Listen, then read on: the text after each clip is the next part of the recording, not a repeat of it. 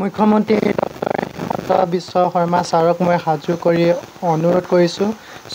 তেখেতে মোক যেন অসম চৰকাৰ ফালৰ পৰা কিবা এটা সহায় কৰি সহায় অনুদান আগবঢ়ায় যেন।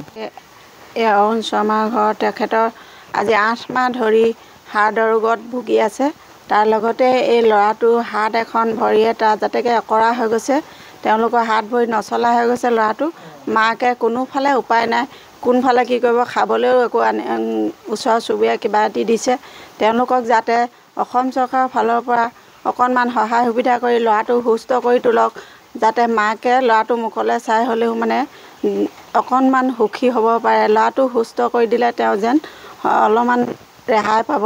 ইয়াকে কৈ আমি মানে এই ওচৰ চুবুৰীয়াই যি যেনেকৈ পাৰোঁ দুই এটকা দিম আৰু দিয়ে আছোঁ আৰু খোৱা বোৱাৰ ফালৰ পৰাও ওচৰ চুবুৰীয়াই কিবা এটা সহায় কৰি আছে। গতিকে আৰু কোনোবাই যদি সদাশয় ব্যক্তিয়ে দুই এটকা দি এই ল'ৰাটোক সুস্থ কৰি তুলিব বিচাৰে তেওঁৰ একাউণ্ট নম্বৰ দিয়া আছে সেই নম্বৰতে যেন সকলোৱে দিব লাগে এতিয়া অনুৰোধ। ল'ৰাটো একদম বিশেষকৈ ভৰি হাত এখন জধৰা হৈ গৈছে।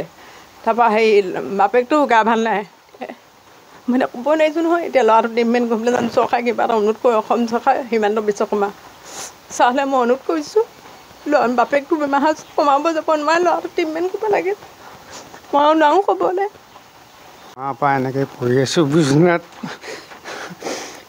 দুৱা দুৱাও ক'বলৈ।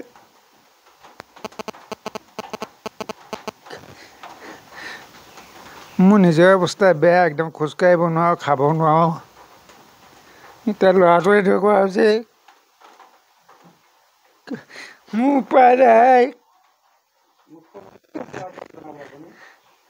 সেইকাৰণে ছাৰক কৈছোঁ হেমন্ত ছাৰক কিবা এটা সহায় কৰে মোক ল'ৰাটো উন্নতি কৰিবৰ কাৰণে ময়ো অলপ নিজে ভাল হ'বৰ কাৰণে অকণমান হেৰি কৰক আপোনাৰ হাত জোৰ কৰি পেলাই কৈছোঁ কিবা এটা উপায় দিয়ক